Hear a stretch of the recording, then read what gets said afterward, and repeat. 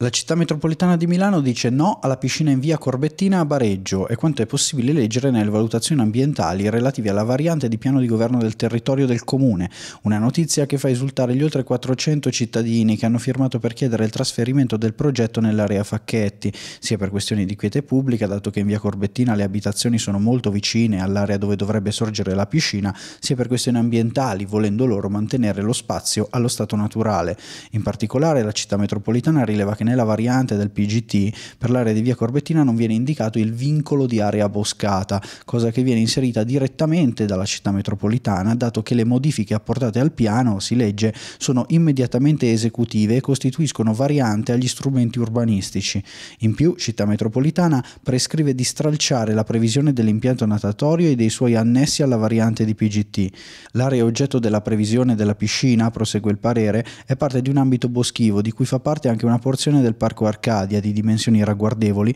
in rapporto alla forte penuria di elementi boscati del territorio metropolitano, soprattutto di una certa grandezza, lo stesso punto sollevato anche dai cittadini che a Bareggio sono contro la realizzazione della piscina in via Corbettina. La procedura di valutazione ambientale non è ancora conclusa, anche se il parere della città metropolitana è di assoluta rilevanza e non potrà non essere considerato.